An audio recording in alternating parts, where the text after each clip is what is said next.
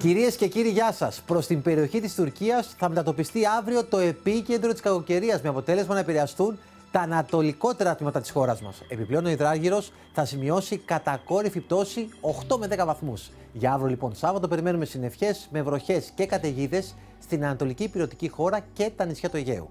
Τα φαινόμενα κατά τόπου θα είναι έντονα και θα συνοδεύονται και από χαραζοπτώσεις. Σταδιακά όμως θα εξασθενήσουν. Το βόρειο ρεύμα θα φτάσει τοπικά τα 8 μποφόρ στα ανατολικά και νότια πελάγη, ενώ η θερμοκρασία θα ανέβει το μεσημέρι στα υπηρετικά στους 21 με 23 βαθμούς Κελσίου. Στην Αττική, μέχρι το απόγευμα, περιμένουμε βροχές και καταιγίδες. Μετά θα ανοίξει ο καιρός. Βόρειο-ανατολική άνεμη μέχρι 8 μποφόρ, αρκετή υγρασία το πρωί, ενώ η θερμοκρασία θα κοιμαθεί από 12 έως 20 βαθμούς.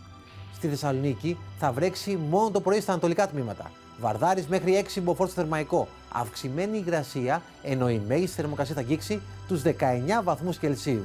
Στη δυτική Θεσσαλία δεν προβλέπονται βροχές, σε αντίθεση με την Ανατολική. Στο Βόλο και τη Λάρισα θα βρέξει το πρωί, ενώ τα θερμόμετρα θα αγγίξουν τους 17 με 18 βαθμούς Κελσίου.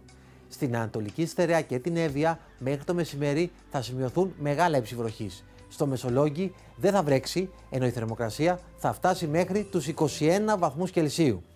Στην Πελοπόννησο οι βροχές θα εκδηλωθούν στις ανατολικότερες περιοχές μέχρι μεσημέρι όμως. Στην Πάτρα η θερμοκρασία θα κοιμαθεί από 16 έως 22 βαθμούς Κελσίου.